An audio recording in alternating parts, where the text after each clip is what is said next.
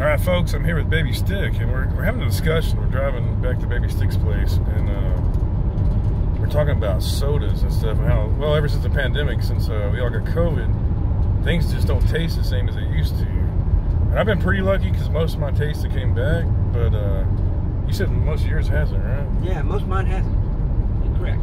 Right, and we were talking about sodas, so like soda pop, for instance. To me, if I drink a Coca-Cola, it tastes like metal.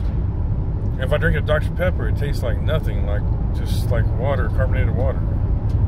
But if I drink Pepsi, it still tastes like Pepsi. It's weird, right? It is weird. What's some of the other things you've had that's tasted funky to you? An onion. An onion, everybody onion. knows an onion smells like an onion. Well, when I cut into an onion, it smells like metal. I take a bite of the onion, it tastes like metal.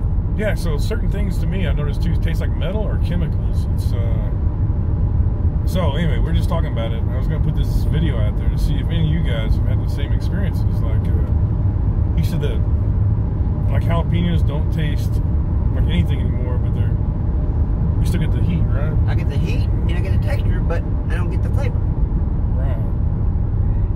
So anyway, in the comments below, what things have you noticed since you've? Uh, it, not everybody's had COVID, of course, but if you did, what things taste differently now? Because I've definitely noticed it. I've noticed it.